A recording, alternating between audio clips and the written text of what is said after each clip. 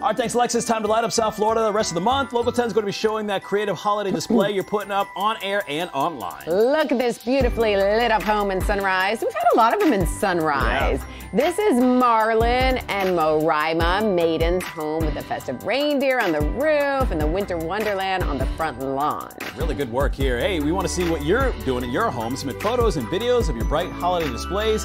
Head over to local10.com, click on the Light Up South Florida link, and highlight these all the way through December 30th. And an annual tradition is back once again. Very good cause behind fans throwing teddy bears onto the ice during a hockey game. Details next. But first, President Biden's student loan forgiveness program going to the highest court. What the justices will now determine. In this morning's GMA First Look, White Lotus Wanderlust. God, are you kidding me? Look at that pool guys are going to have such an amazing trip. Fans of the hit show seemingly taken with its setting, Sicily, and its searing beauty. Mobile travel app Hopper telling ABC News that searches for vacations there are up 50% this season. I mean, I'm impressed that you're even here and you're quite old, no? If you are flexible and you are thinking about that Sicily trip, try going early May or next fall. You're going to get the best deals, lowest prices, and you know really be able to stretch your Italy trip budget a bit further. And this isn't the only show inspiring travelers. Coming up at 7 a.m., we'll show you some of the locations here in America seeing an uptick thanks to vacationing viewers. With your GMA First Look, I'm Morgan Norwood, ABC News.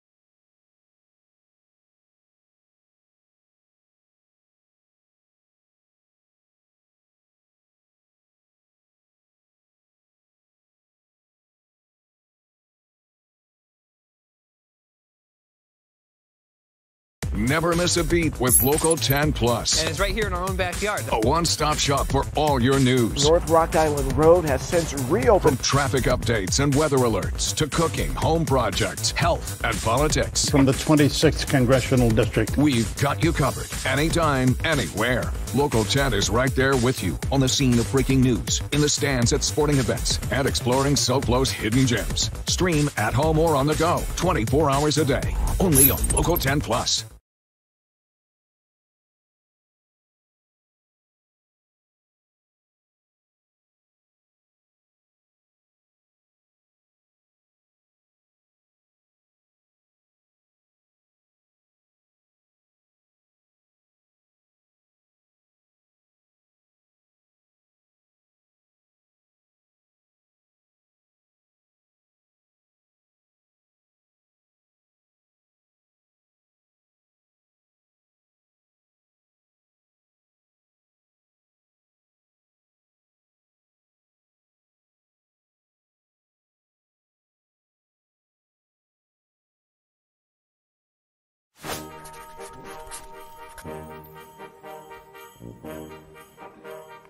It is time for our Secret Santa giveaway. We still have nearly a dozen prizes to give away to our lucky viewers. Let's look at the feature prize we pulled yesterday. Here it is three day, two night stay for two people at B Resort and Spa at Disney Springs Resort. You'll stay in a pool view room. Also comes with breakfast for two from American Kitchen Bar and Grill. And here is today's winner. Ready? It is Diana Rodriguez. Congratulations. If this is you, we'll reach out to you so we can get that prize straight to you.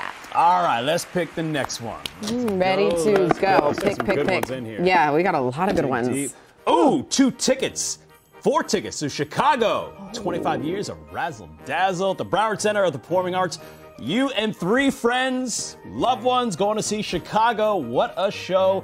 This is a great prize. I'm jealous. That's going to be a good one. To enter to win, download our Local 10 News app. Scan the QR code on your screen right now. That'll take you directly to the app. Once you download it, go to the drop down menu. It's on the top left corner of your screen. Click on Secret Santa Giveaway to register. Every day we choose a random winner, announce their names right here during our 6 a.m. newscast. The contest lasts through December 28th, so get in the game and good luck. The Supreme Court will hear another attempt to bring back President Joe Biden's student loan forgiveness plan. The latest effort involves two student loan borrowers.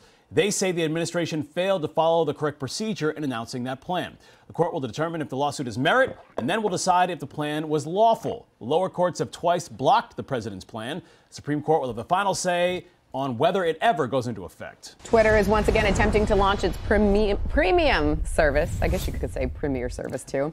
A month after the previous attempt failed, the company is now allowing users to buy subscriptions to Twitter Blue to get a checkmark and to access special features. It does cost $8 per month for web users and $11 per month for iPhone users. Twitter also holding a yard sale of sorts. It is auctioning off dozens of items from its headquarters in San Francisco. The memorabilia ranges from a large statue of the Twitter bird to a giant planter in the shape of an at symbol, an espresso machine, computers, bikes.